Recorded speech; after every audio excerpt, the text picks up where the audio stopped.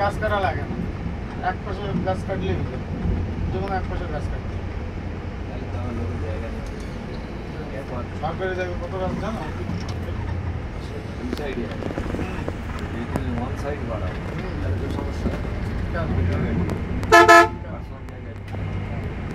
সাইডে দিলে তখন সাইডে জায়গা মাঝখানে আইল্যান্ড Thank you.